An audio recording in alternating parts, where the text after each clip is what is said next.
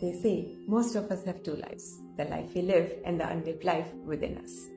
Which is where, as we continue to walk further on our path of self transformation, we finally begin to understand and realize that it is so that we are able to live this unlived life, that we even walk ourselves through this process of self transformation.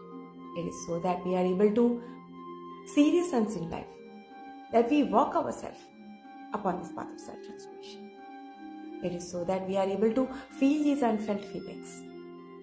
That we even walk ourselves upon this path of self transformation. It is so that we are able to become the person that we were born to be, that we've never been before. That we even are ready to walk ourselves through this process of self transformation.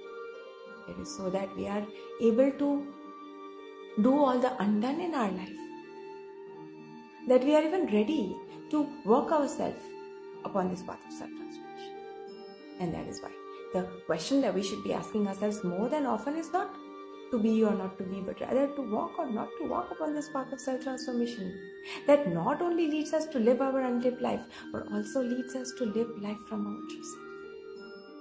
Walk with me on this path of self transformation where we each live our unlived life.